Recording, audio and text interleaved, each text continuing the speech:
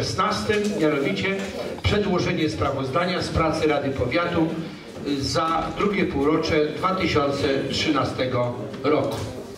Każdy z Państwa otrzymał sprawozdanie z pracy Rady Powiatu w Tomaszowieckim za drugie półrocze, rozbite na poszczególne miesiące, lipiec, sierpień, wrzesień, październik, tak dalej. Czy są pytania w tym temacie? Nie ma pytań. Przyjmujemy sprawozdanie z realizacji. Następny punkt to jest 17. Przedłożenie sprawozdań z prac poszczególnych komisji Rady Powiatu za drugie półrocze minionego roku wraz z informacją o realizacji wniosków podjętych przez Komisję Rady Powiatu w Tomaszowie Mazowieckim również za drugie półrocze. Komisje Rady Powiatu przedłożyły sprawozdania z prac w drugim półroczu 2013 roku wraz z informacjami o realizacji podjętych w tym okresie wniosków. Czy są pytania, uwagi do przedłożonych materiałów przez Komisję Budżetu Planowania Gospodarczego, Komisję Edukacji, Kultury i Sportu, Komisję Zdrowia, Rodziny i Spraw Społecznych, Komisję Rolnictwa i Ochrony Środowiska, Komisję Bezpieczeństwa Publicznego i Transportu. Patrzę się wolno, żeby nie za szybko. Dobrze.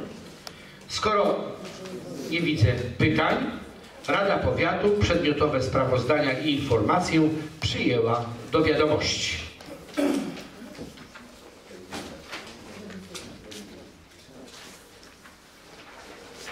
I punkt 18. Przedłożenie sprawozdania Komisji Rewizyjnej y, z przeprowadzonych w drugim półroczu 2013 roku kontroli wraz z informacją o realizacji wniosków pokontrolnych.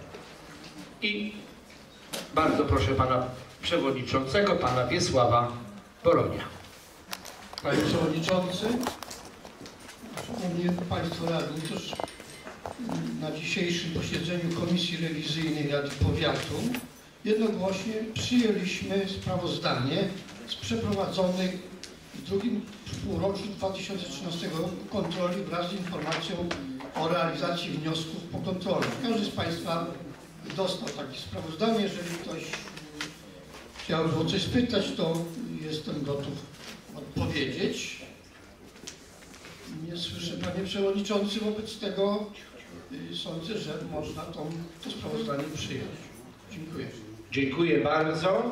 I mamy, y, na pewno każdy z Państwa radnych otrzymał punkt 19, a mianowicie informację o pracy Zarządu Powiatu wraz z uzupełnieniem i Pan Starosta jest gotowy, a Państwo radni są również gotowi, bo już Pan Węgrzynowski jest pierwszy o zadanie pytania do Pana Starosty, czy do Zarządu. Bardzo proszę. Pierwsze pytanie dotyczy zakresu Wydziału Geodezji Gospodarki Nieruchomościami. Mamy to, to taką informację. Zarząd podjął decyzję w sprawie wygaszenia trwałego zarządu w odniesieniu do części nieruchomości o powierzchni 3800 metrów oznaczonej w ewidencji gruntów numerem działki 552 łamane przez 1 położonej w obrębie 7 miasta Tomaszowa Mazowieckiego. Druga informacja, zarząd podjął decyzję w sprawie wygaszenia trwałego zarządu w odniesieniu do nieruchomości oznaczonej w ewidencji gruntów numerem działki 745 łamane przez 8 położonej w obrębie 23 miasta Tomaszowa Mazowieckiego. Proszę powiedzieć, o jakie tutaj nieruchomości chodzi i dlaczego y, została, został ten zarząd wygaszony. To są pierwsze dwa pytania. I trzecia sprawa, mamy tutaj taką informację dotyczącą odwołania ze stanowiska dyrektora placówki opiekuńczo-wychowawczej typu rodzinnego i jednocześnie jest druga informacja o powołaniu na stanowisko dyrektora. Y, Co takiego się wydarzyło, że tutaj osoba, która piastowała taką funkcję została odwołana? Panie Przewodniczący, Szanowni Państwo, zacznę od ostatniego pytania. Otóż jeśli chodzi o odwołanie e, ze stanowiska dyrektora placówki opiekuńczo-wychowawczej, chodzi tutaj o rodzinny dom dziecka, ja nie pamiętam. E, Pan dyrektor przeszedł na emeryturę, miał takie prawo, w związku z tym na, na to stanowisko została zatrudniona e, jego małżonka. Natomiast jeśli chodzi o, y, o wyga- wygaszenie trwałego zarządu, nie chciałbym wprowadzić błąd, dlatego będę się może posiłkował. Tu chodzi o część nieruchomości na EZOW, tak? a drugie wydzielenie drogi dojazdowej do onkologii. Ponieważ e, Cała nieruchomość, cała działka pod EZOW była w trwałym zarządzie tegoż dyrektora, który y, pilotuje tą placówkę. W tej chwili część tej działki będzie w jurysdykcji dyrektora domu dziecka, dlatego żeśmy rozwią- rozwiązali trwały zarząd na część tej działki. Natomiast jeśli chodzi o drogę dojazdową do onkologii, yy, ta działka była, została wydzielona, natomiast była w trwałym zarządzie znowuż Domu Pomocy Społecznej. W tej chwili to będziemy my tym gospodarować. Dziękuję. Mam rozumieć, mam rozumieć, że już nie ma więcej pytań do zarządu czy pana starosty? Wszystko przyjęte ze zrozumieniem. Przechodzimy do punktu 20. Interpelacje i zapytania radnych. Pan radny Wiesław Boroń. Państwo, ja zawsze będę mówił o szkolnictwie zawodowym. To jest ważna sprawa, y, która dotyczy naszego powiatu. Przedstawiam interpelację dotyczącą uruchomienia kierunków zamawianych w szkolnictwie zawodowym w powiecie tomaszowskim. Kierunki kształcenia zamawiane w szkolnictwie zawodowym mają na celu zwiększyć liczbę studentów na kierunkach strategicznych dla rozwoju polskiej gospodarki i zawarte są w rządowym programie. Na realizację tego programu w 2013 roku rząd przeznaczył około 1 miliarda złotych. W związku z tym ponad 10 tysięcy studentów otrzymywało stypendia motywacyjne w wysokości nawet 1000 zł miesięcznie. E, Takie pytanie się nasuwa. Ilu absolwentów Tomaszow- tomaszowskich szkół ponadgimnazjalnych jako studentów kierunków zamawianych otrzymywało takie stypendia i czy my o tym wiemy? A może warto się o tym dowiedzieć, a zwłaszcza czy to ma związek z rozwojem tomaszowskiej gospodarki i potrzebami naszego rynku pracy. Ale ja uważam za najważniejsze jednak, żeby rządowy program kierunków zamawianych objął również ponadgimnazjalne szkolnictwo zawodowe. I tak, uruchomienie w naszym powiecie programu dotyczącego kierunków zamawianych, między innymi w zakresie rolnictwa i wojskowości, umożliwiłoby ufundowanie stypendiów motywacyjnych uczniom szkoły zawodowej. Do tej pory jest tak, że stypendium otrzymują tylko uczniowie najzdolniejsi i najbiedniejsi. A uczniów tak zwanych przeciętnych się pomija. Ale oni, to, ale oni to najwięcej pracują, najwięcej się uczą. Uczniowie zdolni, obdarzeni wrodzonymi predyspozycjami, nie muszą się tyle uczyć, co ich mniej zdolni koledzy. Ale dostają stypendia za to, że są bardzo zdolni. Jako nauczyciel szkoły zawodowej ciągle o tym mówiłem, jako wychowawca zabiegałem o więcej stypendiów właśnie dla tych przeciętnych, co się bardzo bardziej starają i więcej uczą. No wiadomo, nieraz się mówi, że taki zdolny, ale nie chce mu się, prawda, i tak dalej. A ci przeciętni niestety muszą ciężko harować, żeby otrzymywać pozytywne oceny. I tak, gdyby uczniowie szkół zawodowych mieli zapewnione stypendia motywacyjne, właśnie z tych kierunków zamawianych, to na pewno zwiększyłoby się zainteresowanie tymi szkołami zawodowymi. Pieniądze na ten cel mogłyby pochodzić z funduszy unijnych, gdzie szuka się rozwiązań, jak skutecznie zapobiegać bezrobociu wśród młodego pokolenia. To przecież absolwenci zawodówek szybciej znajdą pracę niż ich koleżanki i koledzy po liceum. Pieniądze z funduszy unijnych mogłyby rekompensować również wydatki poniesione na podręczniki, dojazdy do szkół i opłaty za pobyt w internacie. W interpelacji na ostatniej sesji wskazałem potrzebę starania o bezpłatne podręczniki dla uczniów szkół ponadgimnazjalnych, a szczególnie o bezpłatne podręczniki dla uczniów szkół zawodowych. Przypominam, że uczniowie tych szkół uczą się nie tylko przedmiotów ogólnokształcących, ale i przedmiotów zawodowych. W związku z tym muszą kupować dwa komplety podręczników.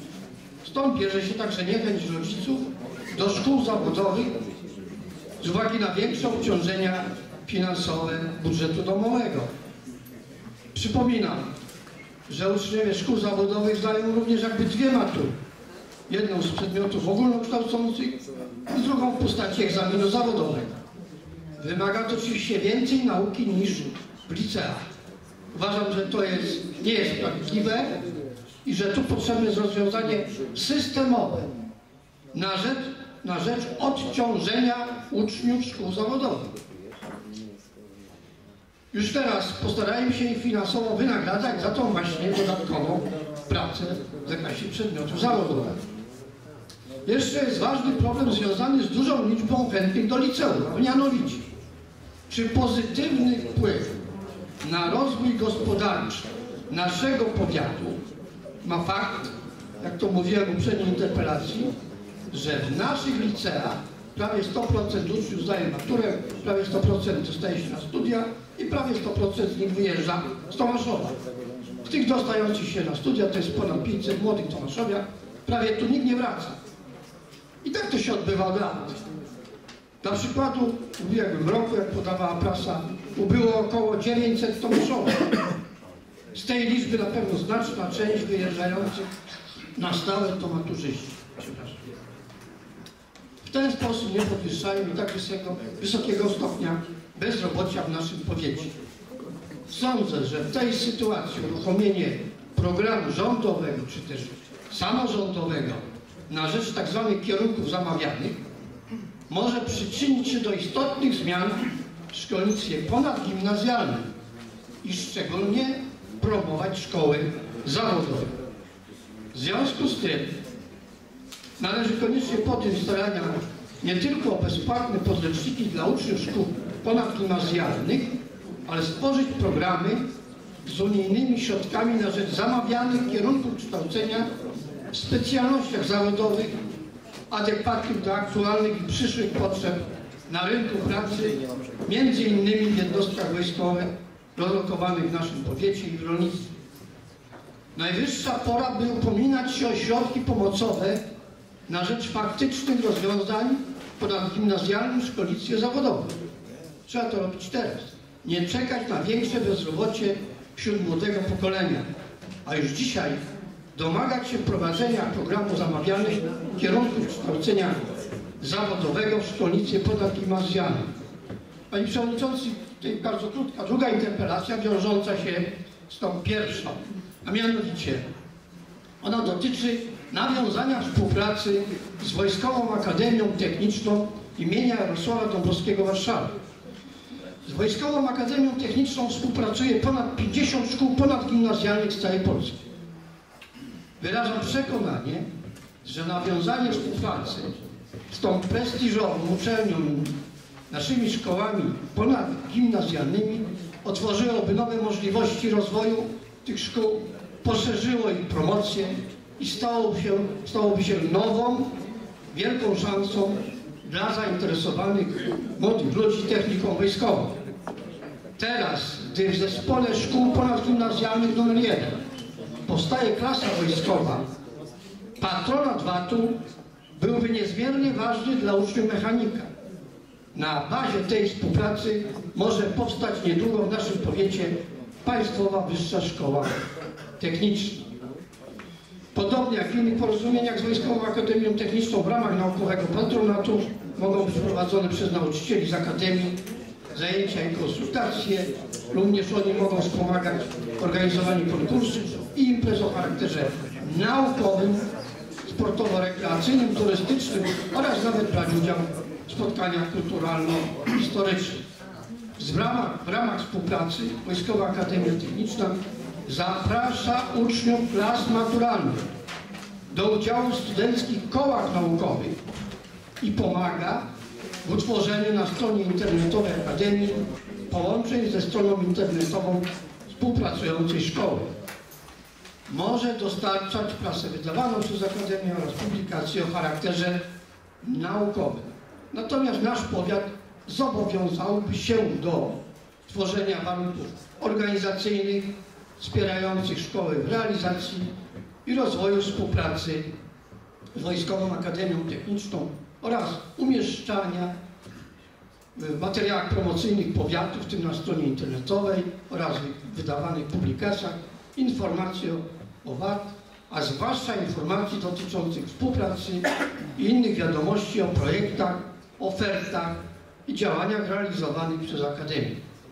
Ponadto na zasadzie wzajemności przedstawiciele Akademii naszych szkół braliby udział w uroczystościach organizowanych zarówno przez powiat, szkołę, akademię, oczywiście to może i pan starosta i zarząd brać udział w tych różnych uroczystościach w Warszawie i, i u nas na miejscu. Być doskonała promocja naszego powiatu. Chciałbym jeszcze dodać, że, w styczniu tego roku zwróciłem się do dyrektorów naszych szkół ponadgimnazjalnych, zawodowych, z listem intencyjnym otwieranie klas mundurowych. Te klasy rozszerzyłyby kierunki kształcenia w spe specjalnościach zawodowych adekwatnych do aktualnych i przyszłych potrzeb pracy, między innymi w jednostkach wojskowych rozlokowanych w naszym powiecie. Oczywiście dawałyby, dawałyby szkołom nowe możliwości rozwoju, również przez nawiązanie współpracy z Wojskową Akademią Techniczną. Dziękuję Państwu za uwagę. Pan radny Węgrzynowski.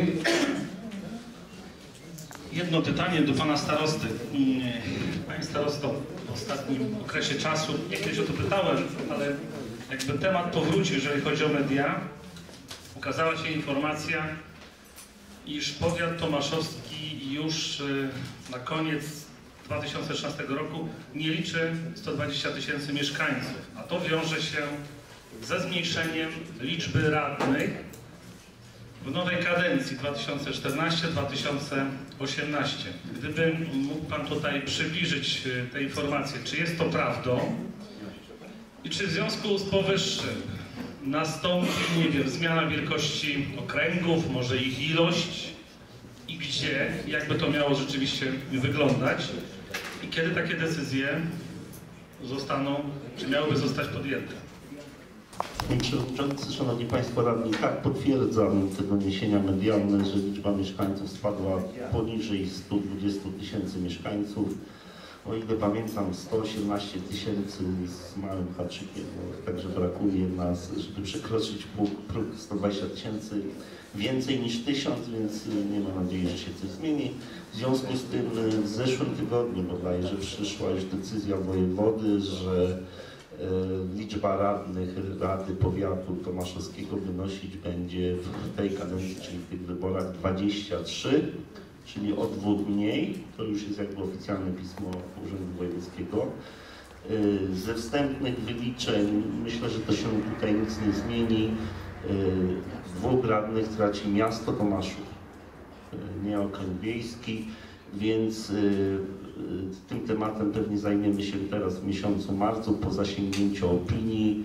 y, Podejmiemy, to Wy Państwo, znaczy my wszyscy jako Rada Powiatu podejmiemy decyzję, czy y, okręgi w mieście Tomaszów Mazowiecki będą dalej 4 i 3 mandatowe, bo tu będziemy mieć do czynienia z 12 radnymi, radnymi czy też będą okręgi Y, będzie zmiana ilości okręgów y, na mniejszą ilość, a większe, większe, więcej mandatowych. Jest możliwość taka, żeby były dwa okręgi, dwa okręgi sześciomandatowe. Natomiast jeszcze raz powtórzę, ta decyzja będzie podejmowana przez Radę Powiatu po zasięgnięciu opinii wszystkich rad, y, wszystkich rad z terenu, y, rad gmin z terenu powiatu tomaszowskiego. Potwierdzam y, ze wstępnych wyliczeń gdzie komisarz wyborczy w Piotrkowie też to nam potwierdził, co prawda telefonicznie, że ta liczba ubywa w mieście Tomaszu Mazowieckim. Dziękuję. Pani radna Wędrowska. Ja tylko takie krótkie pytanie i oczekiwałabym też krótkiej odpowiedzi od y, pana Rodzińskiego, ponieważ y, pan Rodziński powiedział tutaj taką y, no, informację, udzielił, która niesie nadzieję. Powiedział, że ma nadzieję, że w tym roku w ramach remontowania świętego Antoniego będą zrobione ścieżki rowerowe, tak? Czy tam pasy. To na podstawie czego Pan opiera tą nadzieję? Bo na początku roku mówiliśmy o tym, że raczej no, Pan starosta powiedział, że nie ma szans, więc nie wiem skąd to nadzieja. W tym przypadku jako członek zarządu. Tak, tak. Członek zarządu, tak. Tak, tak. Tak, jest to bardzo ważna dla nas wiadomość. Y, Skąd, skąd taka wiadomość? Bezpośrednia od, ze źródła, czyli od służb wojewody zajmujących się, które zajmują się y, Narodowym Programem Przebudowy Dróg Lokalnych. Y, Pieniądze dodatkowe w porównaniu z tym, co już rozdzielono, y, jak wiemy z przekazów medialnych, ale to jest fakt, mają pochodzić z zasobów lasów państwowych. Jest to w- na rok 2014 i czyli na ten i na 2015 15, 1 milion 600 1 miliard, przepraszam, 600 milionów na cały kraj. Y, w 2014 wobec tego dodatkowa kwota na całą Polskę to jest 800 milionów i dzięki temu województwo łódzkie zamiast 15 milionów, które już zostało rozdysponowane na ho, ho, ho, ho, y, cztery wnioski powiatowe i pięć gminnych, y, a razem było około 90 wniosków, zamiast 15 milionów otrzymujemy 50 y, województwo łódzkie. Województwo łódzkie otrzymuje do podziału 56 milionów. Są już oficjalne wiadomości, to znaczy oficjalne, y, oficjalne w tym znaczeniu, że y, jest już ustal, y, ustalona ilość zarówno powiatów, jak i gmin, które otrzymają dofinansowanie. Jeżeli zostanie tam już na najwyższych szczeblach, czyli szczeblach rządowych, postawiona ta tak zwana kropka nad i, czyli jeżeli uprawomocni się uchwała Rady Ministrów, która właśnie mówi o tym wszystkim, co w tej chwili przekazałem. Przechodzimy do punktu 21. Wnioski i oświadczenia radnych. Pan radny Sławiński. W sprawach wniosków, a w zasadzie chciałem zwrócić się z apelem do Państwa, e, zarówno do radnych, jak i e, członków zarządu. E, zostałem uprawniony tutaj również przez radnego Haraśnego i panią radną Barbarę Klatkę o to, żeby zwrócić się do Państwa z apelem o e, rezygnację bądź niekorzystanie z przywilejów e, dotyczących parkowania na terenie miasta Tomaszowa Mazowieckiego. To jest temat dosyć gorący i on był dyskutowany przez Radę Miejską. Myślę, że to będzie dobry, dobry sygnał dla wyborców, jeżeli nie będziemy korzystać z tych przywilejów. Ja osobiście tego nie robię i myślę, że e, większość radnych akurat nie korzysta z tego, z tych przywilejów. To dziękuję. Dziękuję bardzo. Akurat tak się składa, że pani Barbara tu nie korzysta z Tomaszowa, bo nigdy nie parkuje. Pan Haraśny cały dzień jest w innym mieście, więc nie korzysta z tego, więc dlatego hojną ręką mogą zrezygnować z parkowania. Jeżeli taki przywilej jest, to dlaczego z niego nie korzystać? Pani radna Małgorzata Wałach. Ja tutaj chciałabym dołączyć do grupy y, wymienionych radnych, ponieważ uważam, że dieta jest ryczałtem za tego typu rzeczy. Też uważam, że nie powinniśmy korzystać darmowych parkingów, o czym się dowiedziałam w tej chwili, że takowe dla radnych. A jak Aha, no to jakieś ryczałtowe, no to jakieś ryczałtowe, jakieś ulgowe. Nie wiedziałam, stąd nie wiem dokładnie jak to się nazywa. W każdym razie dołączam do takiego apelu złożonego przez pana radnego Sławińskiego. Dziękuję bardzo. Mogę podpowiedzieć, że na cały rok taki abonament, czy jak to nazywa, miejsce parkingowe kosztuje 120 zł. Na rok.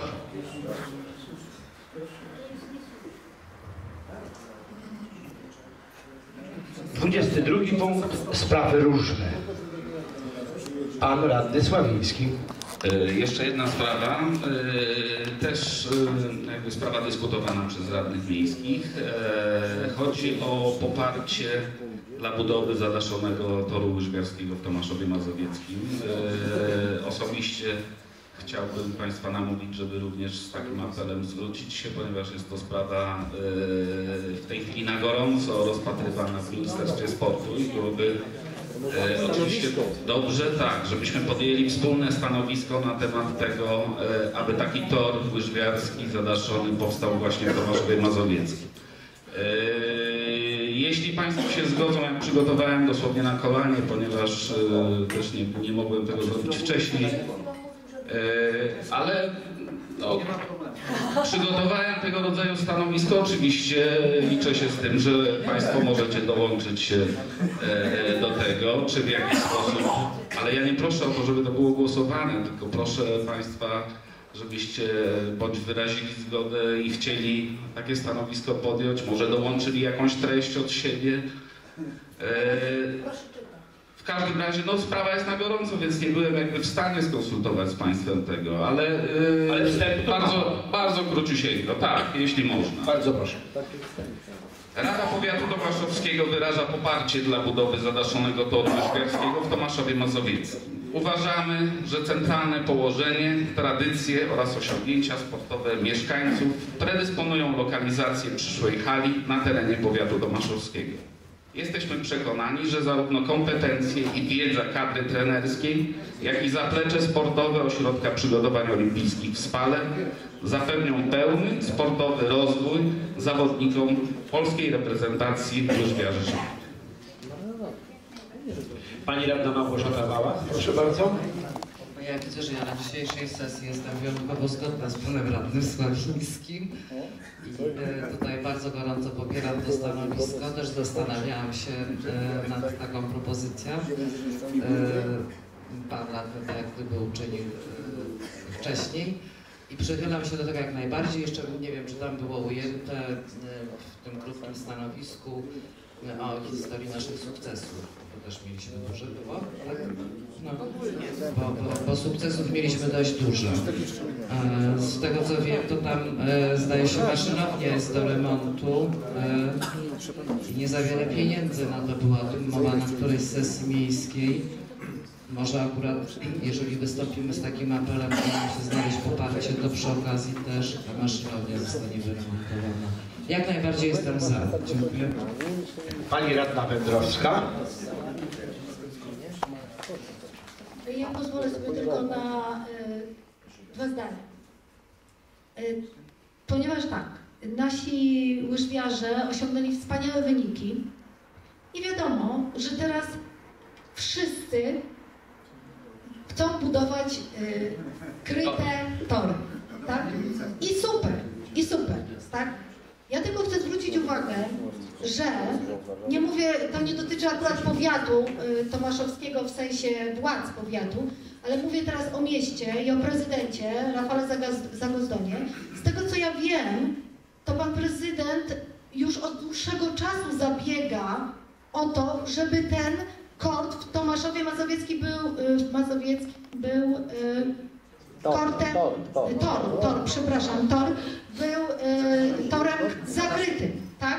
I to, co pani y, Małgosia powiedziała przed chwilą o maszynowni, również te rozmowy są nie tylko na poziomie jakiegoś tam województwa, ale przede wszystkim na poziomie Ministerstwa Zdrowia. Także te, y, sportu.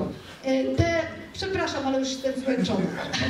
Także y, jak gdyby te działania się już toczą.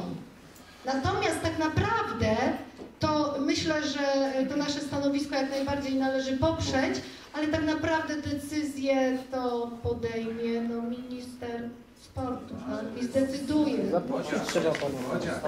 Pan Sławiński. Jedna, jedna sprawa, bo e, oczywiście być może pan prezydent Zagozną zabiega od dawna, natomiast na pewno środowisko łyżwiarzy szybkich czy samorządy, które e, jeszcze były przed e, prezydenturą Rafała Zagozdona, e, podejmowały już tego rodzaju e, prace i działania na rzecz krytego toru. Także sprawa rzeczywiście trwa od bardzo dawna. Właściwie od momentu powstania. Teraz jest na to szansa i wydaje mi się, że powinniśmy jakby no, wszelkie wysiłki e, skierować ku temu, żeby rzeczywiście udało się stworzyć tego rodzaju halę Tomaszewicz Mazowiecką. Pan radny Parada. Proszę Państwa, najświeższa informacja z wczorajszego wieczoru późnego.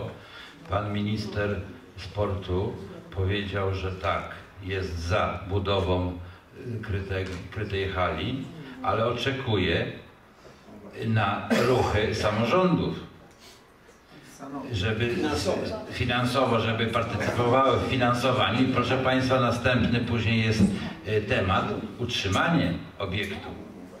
Musimy sobie zdawać z tego sprawę. W zasadzie chciałem w trochę inny sposób, ale mówić właśnie, mm, poruszyć ten temat, który y, omówił króciutko pan przewodniczący Parada. Bo chciałem zadać pytanie, czy mamy, czy mamy dążyć do budowy, do tejże budowy, bez względu kto będzie finansował, znaczy bez, bez względu na to, jeżeli my będziemy musieli w pełni sfinansować tą budowę i później w pełni utrzymywać. Takie byłoby moje pytanie, ale teraz mi się zrodziło dodatkowe. Proszę Państwa, wiedzą Państwo, że w tej chwili bardzo żałuję w takim razie, że nie wystąpiłem z taką propozycją, jak nasz najsłynniejszy motorowodniak Waldemar Marszałek. Były lata, wiele, wiele lat, kiedy, kiedy wygrywał absolutnie wszystkie mistrzostwa świata, wszystkie mistrzostwa Europy, oczywiście nie mówiąc o mistrzostwach Polski. I gdyby motorowodniactwo było y, dyscypliną olimpijską, pewnie by również przywiózł komplet medali. Na pewno wszędzie tam, gdzie startował. No żałuję, że nie wystąpiłem o, o budowę wtedy na przykład na zalewie. Dodam Panie Andrzeju, że jakby marszałka Waldemara wtedy ściągnąć na nasz Zalew Sulejowski, to może by się nic nie było. Właśnie, dziękuję za podpowiedź. Pani radna Wała. No ja się tutaj odniosę do wypowiedzi pana radnego Godzińskiego. No rzecz nie polega na tym, że tu nastąpiło wielkie buch, bo nagle się pojawiły medale. Tylko tak jak mówiła pani radna Węgrzynowska, jak mówił pan Wędrowska, przepraszam bardzo, drugi raz. E, Pan e, radny Sławiński. E, Takie zabiegi trwają od dawna. To od wielu, wielu, wielu lat. To nawet nie jest 8 lat wstecz, 10 lat wstecz, tylko jeszcze dalej. Także to nie jest wynikiem tego, że nagle są medale. Powstał tor nasz wtedy się pojawiły pierwsze medale. Pierwsi sportowcy, którzy za, zaczęli trenując na naszym torze zdobywać medale i dzisiaj takie nazwiska jak Radkę, jak Abratkiewicz, jak Kmiecik, to są nazwiska znane dzięki naszemu torowi. E, I no ja nie za bardzo wiem, jak e, wyglądałoby to utrzymanie rzeczywiście toru krytego i na pewno byłby to duży problem, bo to są na pewno bardzo duże pieniądze. E, Wiem, że są, wiem, że problem jest też z pieniędzmi na remont maszynowni. E, Natomiast no, na pewno nie byłoby chyba to tak jak pan radny tutaj mówi, że to my byśmy mieli sfinansować budowę e, krytej, e, krytego toru, tylko pewnie byłoby to, byłaby to forma współfinansowania. Mamy jeszcze COS obok, no nie wiem, no może tutaj być trochę mądrzejsi w temacie finansów, jakieś rozwiązanie by znaleźli, ale ruch jakiś z samorządu należałoby przemyśleć i być może wykonać. A wiadomo jeszcze, że do sportu i do edukacji, co ja niejednokrotnie powtarzam, się dokłada. To nie są rzeczy, które się samofinansują i o tym trzeba pamiętać. Dziękuję. Wszystkie drogi też będziemy mieli. Pan radny Iskierka. Panie starosto, ja mam gorącą prośbę do Pana, do zarządu powiatu, żeby się pochylić nad tym tematem. Co może zarząd powiatu w tym jak gdyby temacie zrobić i przedstawić na za miesiąc stanowisko do przedyskutowania, ewentualnie do e, przegłosowania. Pan y, radny Jerzy Kowalczyk. Odpowiem, odpowiem jako radny miejski. Tutaj Państwo pytali y, o przebudowę maszynowni. Odpowiedni wniosek, środki w budżecie są zarezerwowane w kwocie 2,5 miliona złotych i odpowiedni wniosek został już złożony do ministra sportu y, o uzyskanie dofinansowania na y, przebudowę tejże maszynowni. Wczoraj Rada Miejska zajęła stanowisko odnośnie budowy krytego, za- nie tak, budowy, jak powiedzieć, zadaszenia, zadaszenia toru łyżwiarskiego w Tomaszowie Mazowieckim. A prezydent Zagorszy w ostatnich dwóch latach kilkakrotnie rozmawiał zarówno z ministrem sportu, jak i z, i z szefem Centralnego Ośrodka Sportu w Warszawie na temat właśnie tejże inwestycji. Także te działania są rzeczywiste i są robione. Przepraszam, wyłączyłem. I to już wszystkie w sprawach różnych poruszone sprawy. Proszę Państwa, zamykam obrady 45. sesji Rady Powiatu w Tomaszowie Mazowieckim. Dziękuję Państwu.